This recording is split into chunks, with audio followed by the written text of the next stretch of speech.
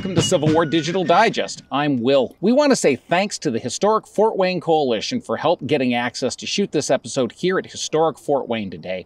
And this is a great place to have the conversation. Today we're going to talk about one series of maneuvers out of battalion drill. They're called successive formations. Okay, before we start to talk about successive formations, we need to learn what they are. A successive formation is any time one element after another comes on the battle line. So this is on the right into line. This is forward into line in some of the manuals. This is deploying column in all the manuals. This is change front forward and change front to rear. Let me introduce you to six period manuals that we referenced. We have the 1855 Hardee's, we have the 1860 edition of Gilham's, we have the 1861 Confederate edition of Hardee's, we have the 1862 Casey's, and the 1863 U.S. Infantry Tactics. We also consulted a copy of Scott's. The good thing to tell you is all the manuals on the table have exactly the same words. You could pick any one of them, and we could say it comes from that because they are word for word. Okay, successive formations when one company comes online after another or one subdivision if you're working by platoons. Let's work at company level. Who are we talking today? We're talking to the regimental commander, most often the colonel. We are talking to the senior field officer, usually the lieutenant colonel. We are also talking to three positions within the company the company commander, usually the captain, and his two guides, the first and second sergeant. These maneuvers are going to be common we don't even need to talk about the specific drill orders because I want to talk about concepts today because once you get those, everything else falls in. The first thing that happens is the colonel picks where the line is going to go and he sets two markers there. In the living history world, often we use our general guides for this to not take away more muskets from the firing line, but the manual just says marker, so you could use anything. The first marker is called the point d'appui, which is French basically for the rest. This is where the line is going to form from. The second marker extends out to about the end of where the first company to hit the line would rest.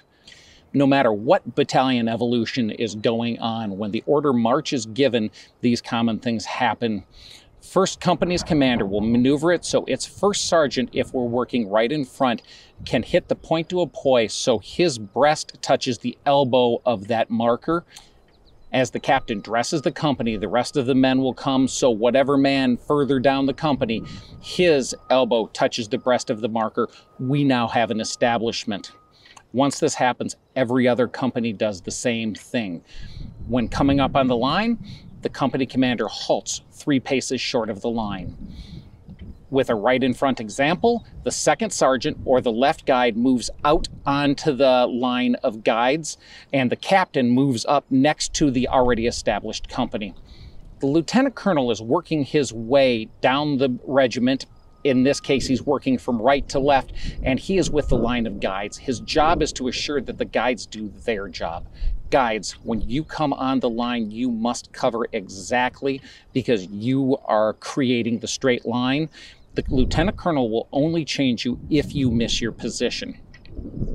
Once the captain has seen the lieutenant colonel has approved his guide, the captain immediately gives right dress. The men dress over to the captain and up to the guide. One of the men near the end of the company will have his breast touch the guide's elbow. This succession of companies coming on the line and dressing happens all the way down. Now, if you're a company commander and the company next to you has come onto line, dressed, and that captain has given front, you now give support arms and your men show that the maneuver is finished.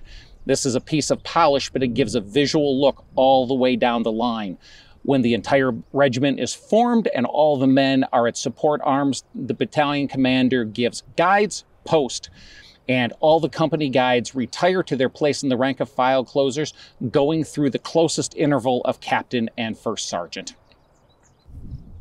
Okay, well, these drill field maneuvers are really beautiful, but the drill manual is not built for the drill field. It's made for combat. What happens if you need to commence fire while the evolution is still going on? That's one of the strengths of a successive formation. You can do that. We will always use fire by file in this situation. How it happens is the colonel warns the company that comes on first, right in our example, that fire will need to start. That captain, as soon as his men hit the line, he places himself in firing position four paces behind the center of his company.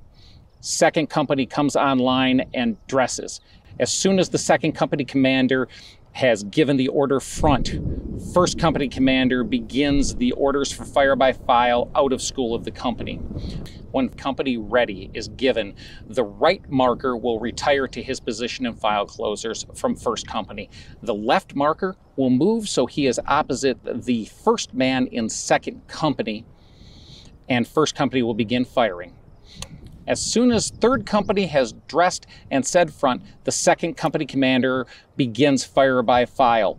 The guide on the right side of that company retires between the intervals for first and second company, and the left guide of second company now helps keep that line. He steps in front of the first file in third company, so third company's left guide and the left guide of second company safely away from his own men firing keep the two points that they establish the line. This continues down the ranks. Fire by file can begin while the rest of the regiment maneuvers onto line.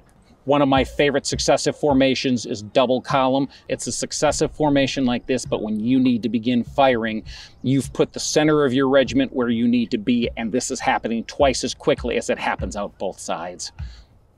The concept at the company level for successive formations is that the company will dress over to its officer and up to the outside guide. So if you're working to the left, the captain goes down there and the first sergeant comes on the line. It works exactly the same opposite. The only difference is when guides post are given, captains travel in front of their companies to their actual interval positions at the right of their companies. Successive formations are a whole block of regimental drill. And if we're looking to do interpretation, we don't get to drill enough. Let's find commonalities. Let's find things that make it simple. And in this case, let's find something in five different regularly used manuals in living history that is common to make it easier for all of us as we get out into the field. I hope you've enjoyed this dive into the drill head side of military history and interpretation.